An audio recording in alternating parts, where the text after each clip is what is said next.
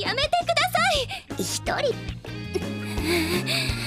私の寝巻き貸して。こっち出てください。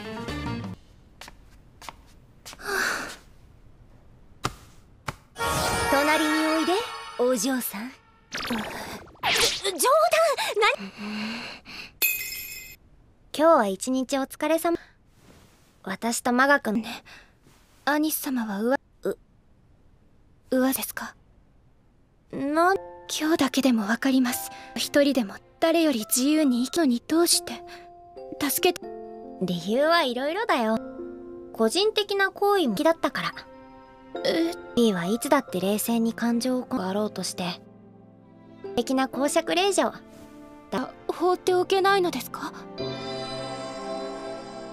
それができていないように見そういう不自由な子にはしたくなっちゃうよ私にはとっても大事なこと。魔法。今はゆっくり。